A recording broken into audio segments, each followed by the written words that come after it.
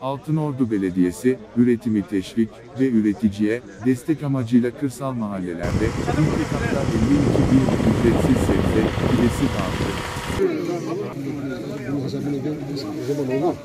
Şu biberiniz, şu da. Bu da e, salatalık.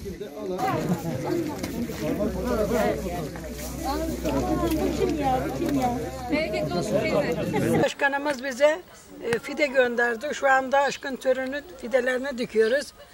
Sağ olsunlar. Teşekkürler.